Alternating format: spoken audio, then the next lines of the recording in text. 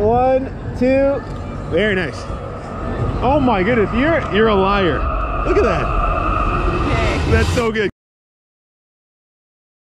The real question is, guys, do you need a $3,000 camera to get the shots that you want? Do you need a $5,000 camera? Do you need a $8,000 camera?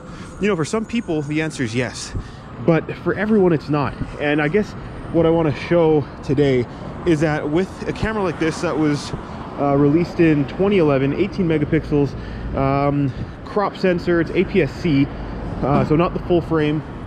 Um, you can get some pretty good shots. As a matter of fact, there was a um, protest that I uh, went to months ago. I think it was September.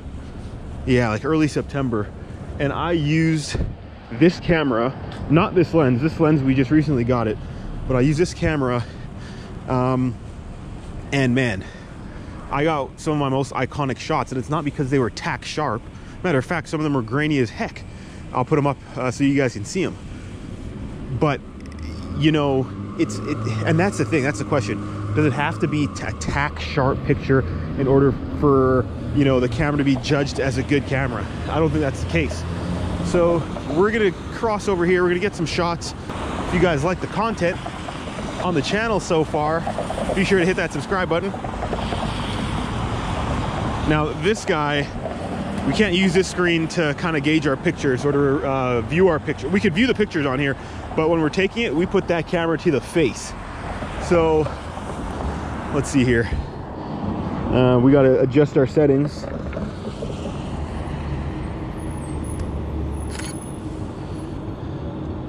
Right now, settings are at 1 160th of a second, f2.8. I have it on auto ISO.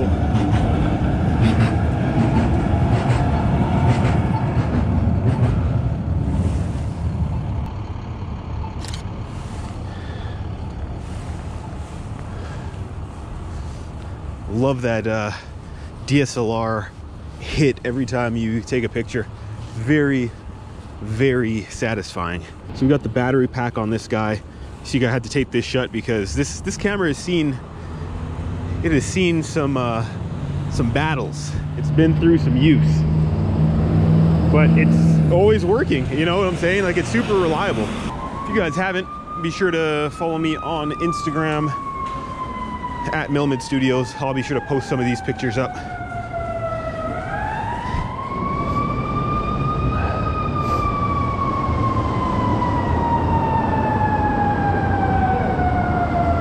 What's going on, guys?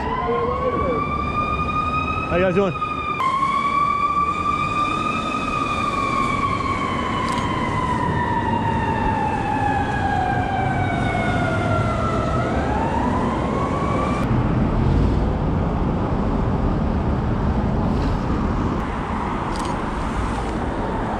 It's a little washed out.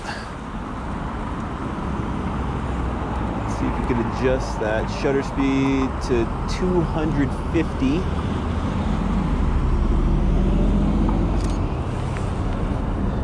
Better.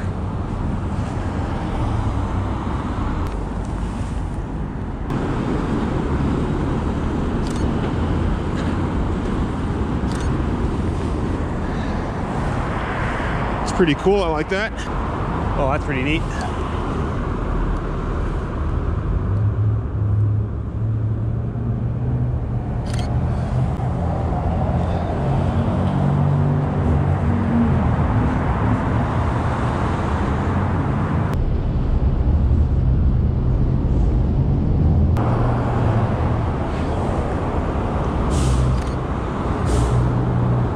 Overall, it's a fun camera. I've had a lot of fun with this um, just because I guess of its simplicity.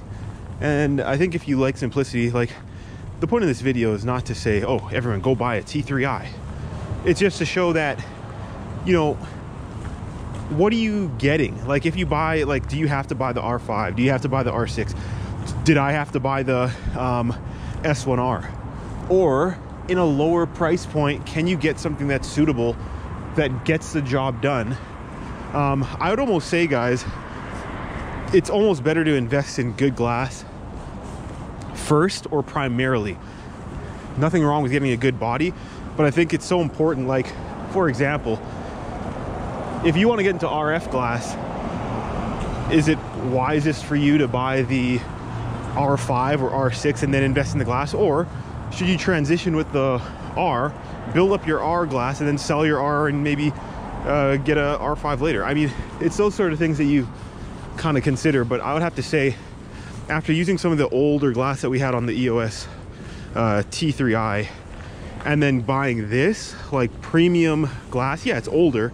Uh, I think this came out in 28 or 2007 or so, but the picture is so good and it really like wakes this camera up. So I'm convinced that if you're considering um, like glass or body, which you want to invest in heavily more, um, I would almost say do the glass, get premium glass. That's my personal opinion.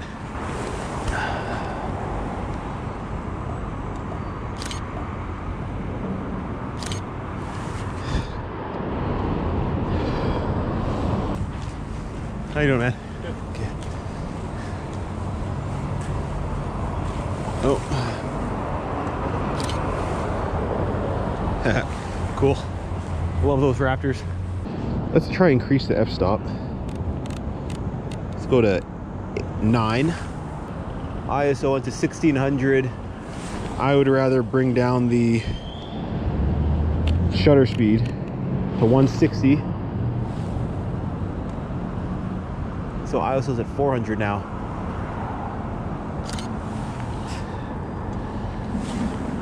Awesome.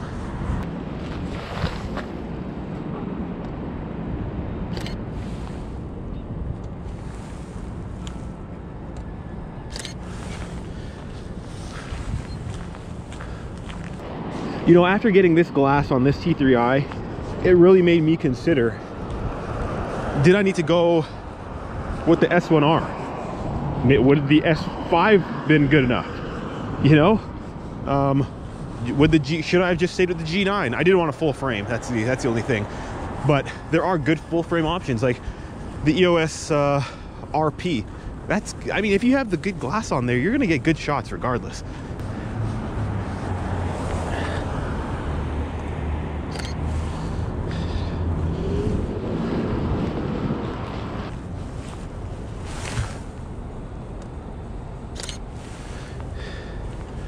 And what I've been thinking is I think from protests and demonstrations, there's one coming up on Saturday I might go to. I think I'll be shooting on AV instead of manual, just so that the shots are there when things start to kick it off, you know? So that's one adjustment I think I'll make. But I think some of the pictures I've gotten have turned out pretty good. There is one exception. I think my screen, my computer screen, it's old and when I grade photos, I think I grade them a bit darker than they should be. So I'm looking to invest in a new screen. If you guys have any suggestions for a good screen to edit photography or videos, please uh, leave that comment down there for me because I am looking to make a purchase pretty soon. I just have to do a bit more research. Maybe we can try get a portrait of somebody. Hi there. Hi. I'm just doing some uh, headshots. Would you like one? I can email it to you. Free of charge, nothing like that. not charging you. I just do a bit of street photography. Okay, if you like it, let me know and I'll, I'll email it to you, okay? Great. Just give me a sec. One, two. That's beautiful. How's that? Do you like it? Yeah, it's fine. Oh, let's do one more then. One, two. Very nice. I think it looks great. Sure. Would you like it? Do you want an email? Hold on to it. I'm good. okay, sounds good. Yeah. Take care then. Thanks a lot. I think they look great. but that kind of gives you, that'll kind of give you an idea of the blur, like for the portraits.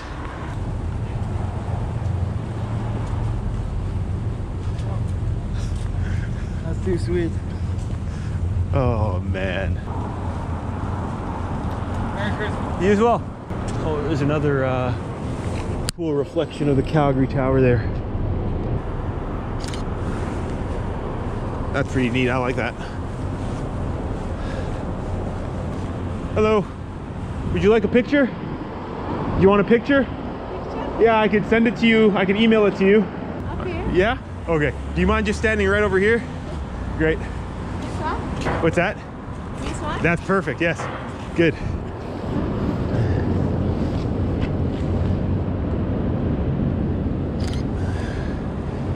Very nice. Oh. Do you want to take your mask off? One. Very nice smile. Very nice.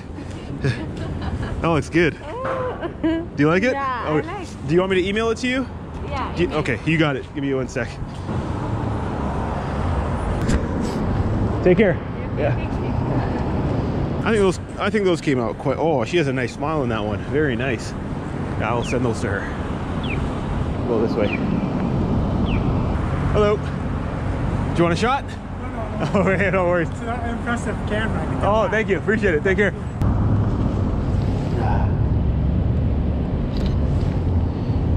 Cool. I mean, from what I could see inside of the screen here, I think the pictures came out really good. Super impressed with uh, this T3i when paired with the 70-200. 70-200 is such a great focal length. Like on portraits, like as you guys saw, the compression is just so nice. And I just like the variety, uh, the ability to go from 70 to 200. And you could do, you could do portraits at 200 millimeters if you really want. So, from what I've seen so far, I'm super, super happy with it. Hi there. Do you want a picture? I'm so don't believe that for a second. What is it for? I just do some street photography. I'll take your picture, I can edit it, and I can send it back to you if you like it. Yeah? Do you mind taking the mask down? Okay. Very nice. You're perfect, just like that. It's a long lens, so I might have to stand back a little bit. No, you're good, you're good. One, two. Oh my goodness. that looks good. Come on, it it don't look good? I just, I never look at photos of myself. You want me to, let me take one more and I'll send them both to you. Is that okay? Sure. Okay. One, two, one, two. Very nice. Oh my goodness, you're you're a liar. Look at that. Okay. That's so good. Come on. There's that one, that one. I like that one too. And then this one. I'll send them. I'll send all three to you. Okay. Do you have an email address? Are you okay giving it to me? Okay. You do this all day, you just stop. Yeah, like on my days off from work, I come downtown and I just shoot. I like it. I love like candid pictures, uh, street photography, buildings, landscape, that kind of thing. Yep. Perfect. Thank you very much. Thank you. Take care, okay? Those shots were incredible. So I, I ask you the question, guys. Do you need a $3,000 camera? You can get this camera for like $300, if not less. The lens we got for a $1,000 Canadian. That's $1,300 and you're getting good shots. You're looking at about $1,300, not including the battery pack here, which is just really a creature comfort. And you're getting beautiful photographs. $1,000 used lens, premium used lens, and a $300 old beat up camera. And you're getting pictures like that. And obviously this is me just looking at them through the viewfinder. If I go home and the, the pictures are crusty, then uh, you may not see this video, but no, no, but just from what I'm seeing, like the bokeh, the compression, it's so, it's so, so nice. I'm so happy that I came out with this. I've had a bunch of fun here. Be sure to hit that like, comment, and subscribe. Hit me up on Instagram. I'll tell you why you should follow me on Instagram. Because I upload these pictures and I have my settings for each picture that I upload. So you know exactly what the settings are in my camera. So you can get a similar look um, in similar circumstances. So be sure to hit that follow button on Instagram. Thank you guys for the support. We'll see you in the next one. Keep on shooting.